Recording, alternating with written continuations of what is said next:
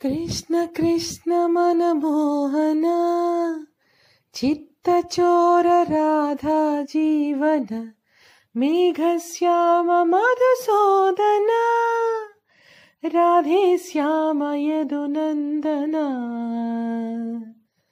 Hi hello నమస్తే. అందరూ ఎలా ఉన్నారు? నేను చాలా బాగున్నాను. సారీ నా గొంతు బాగాలేక మధ్యలో ఒక గ్యాప్ వచ్చిందనమాట. అన్నట్టు నాలాగే మీలో ఎంతమందికి రాధేశ్యామ్ ట్రైలర్ అలాగే ఆ బ్యాక్గ్రౌండ్ స్కోర్ నచ్చాయి? నాకైతే చాలా నచ్చిందండి. టైటిల్ అట్రాక్ట్ చేసిందని చెప్తాను నేను. అంటే లేకపోతే అది అందులో ఉందని కూడా ఈ బ్యాక్గ్రౌండ్ స్కోర్ గురించి కూడా పెద్ద పట్టించుకునేదాన్ని కాదనమాట. రోమియో జూలియట్ సలీం అనార్కలి దేవదాస్ పార్వతి తర్వాత వీళ్ళు వెనకాలే ఆ బ్యాక్గ్రౌండ్ స్కోరు ఎంత కళ్ళని మనసుని కూడా కట్టేసాయని చెప్పాలి నిజానికి. వ్యాలంటైన్స్ డే నాడు మాత్రమే మాట్లాడాలా ప్రేమ గురించి అనిపించి ఈ పాటతో ఇవాళ మొదలెట్టేశా. నేను ఒక బ్యూటిఫుల్ లవ్ స్టోరీని ఎక్స్పెక్ట్ చేస్తున్నా. టైటిల్ వల్లే ఇదంతా. ప్రేమ అనగానే చాలామంది రాధాకృష్ణుల గురించే కదా చెప్పేది. అందుకే రాధేశ్యామ్ అని చూడగానే నేను కూడా అలా ఊహించేస్తున్నాను అనమాట ఇలా అనుకుంటూ ఉంటే గుర్తొచ్చింది మా చందు ఈ మధ్య రాధాశ్యాములకి అంటే రాధాకృష్ణులకి పెద్ద అభిమానం అయిపోయాడు అనమాట ఆ అభిమానం తో ఏం చేశాడంటే ప్రేమ గురించి రాసి నాకు టెక్స్ట్ చేశాడు. ఆ టెక్స్ట్ ఏంటంటే ఉన్నట్టు నా దగ్గరే ఉన్నప్పుడు చదివినిపించిస్తే సరిపోతుంది కదా నాలాగా మీకు కూడా నచ్చేస్తుంది అని అనుకుంటున్నాను. సరే చదివినిపిస్తాను. తన మాటల్లో ఎలా ఉందో వినండి. ప్రేమ. ఇది ఒక్కొక్కరికి ఒక్కొక్క వయసులో ఒక్కోలాగా అర్థమవుతుంది. ఇరవై ఏళ్ళ వయసులో మనిషి శరీరాన్ని ఇష్టపడి ఆ మోహాన్నే ప్రేమగా భావిస్తూ ఉంటాడు. ముప్పై ఏళ్ళ వయసులో పెళ్ళి చేసుకున్న మనిషిని బాగా చూసుకోవాలని ప్రేమని బాధ్యతగా భావిస్తూ ఉంటాడు. కానీ ప్రేమ బాధ్యతకి కానీ మోహానికి కానీ సంబంధం లేనిది. అహంకారం శూన్యమైన ప్రతి చోట ప్రేమ ఉంటుంది.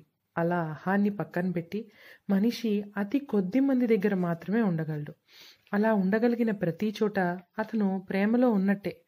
అలా మనం మన ప్రేమని కలుసుకున్నాక మన ఆలోచనలు బాధలు సుఖాలు దుఃఖాలు అన్నీ సగం అయిపోతాయి ఇన్ని పంచుకున్న తర్వాత నా అనే అహం పోయి మనం అనే ప్రేమ పుడుతుంది.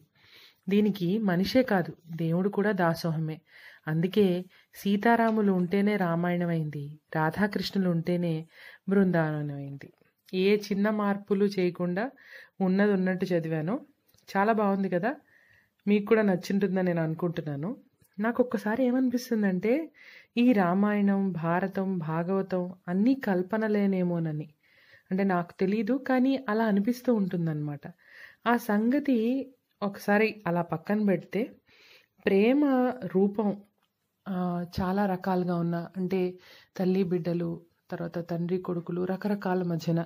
ఒకటి కాదు ప్రేమ రూపం అనేది చాలా రకాలుగా ఉంటుంది. అయినా సరే దాన్ని పరిచయం చేయడానికి మాత్రం ఈ హీరో హీరోయిన్స్ ద్వారా మాత్రమే వీలవుతుంది అని అనిపిస్తూ ఉంటుందన్నమాట. అందుకే ఇన్ని కథలు పుట్టాయేమో. నిజానికి ఇవి కథను పరిచయం చేయడానికి పుట్టినవి కావు ప్రేమ తత్వం పరిచయం చేయడానికి అని నాకు అనిపిస్తూ ఉంటుందన్నమాట. అంతే కదా ప్రేమ తత్వం అనేది ఊరికే ఇలా చూస్తే అలా పసిగట్టేసేది కాదు. దాని ఆ తత్వం గ్రహింపుకు రావడం అంత తేలిక కూడా కాదు. సారీ రాధేశ్యామ్ అనగానే ప్రభాస్ లేదా పూజల గురించి ఏమైనా చెప్తారని ఆశించిన వాళ్ళందరికీ. రాధేశ్యామ్ పేరు ఇప్పటిది కాదు కదా?